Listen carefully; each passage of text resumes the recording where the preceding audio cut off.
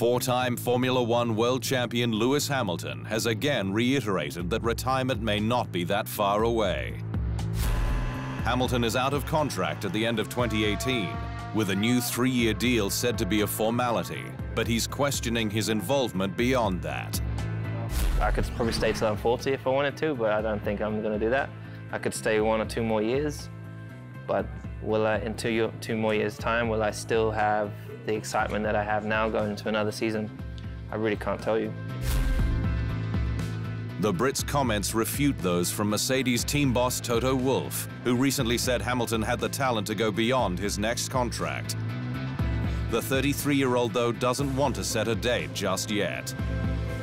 Every time you get to the end of the season, you're kind of like, Jesus, I don't want to race anymore. Like, you don't want to go. Uh, you, are done with your year. You, you, know, you're kind of, I can't wait for my holiday break. Um, and uh, I don't know, it's, it's, I don't want to stop early. American team Haas continues to be the talk of the paddock, with its pace in preseason testing likely putting it at the head of the midfield.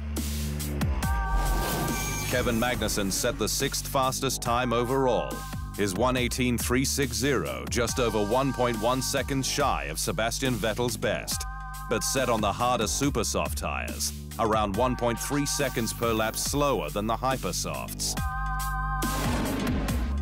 Tire corrected, that puts Magnussen ahead of both of the Ferraris, but the difference doesn't take into account important variables like fuel loads and when in the run program the lap was set. Regardless, Haas team principal Guenther Steiner is sure that fourth, as the best of the rest this year, is achievable, which would be a huge jump from eighth, where it finished at the end of 2017. We've worked hard and we made progress. Let's see in Australia what it brings us, but I think it's a good target to have, he said. F1's governing body, the FIA, is struggling to recruit a deputy race director in time for this weekend's Australian Grand Prix, following news last week that Laurent Mekies has been recruited by Ferrari. It's the second time in six months that key FIA personnel have been poached by teams, with former technical chief Marcin Budkowski recruited by Renault in October 2017. Both hires created a furor, with the FIA's gardening leave period just three months, and Budkowski and Mekies having access to sensitive technical information that could give them an advantage in new roles. While Mekies's September start date with Ferrari broke a gentleman's agreement by the teams to wait 12 months for former FIA and F1 group employees. Ferrari went against the gentleman's agreement, and the FIA has not enforced it, said McLaren racing director Eric Boullier. The Australian Grand Prix organisers have revealed the first wave of grid kids, who are set to replace grid girls at this weekend's event. 40 children from around Australia have been selected to mark the F1 grid on Sunday, with all of them young racers of varying ages. Yeah, they've uh, been drawn from the ranks of karting and also junior motorsport through CAMS, the Confederation of Australian Motorsport. It's just a fantastic moment for them.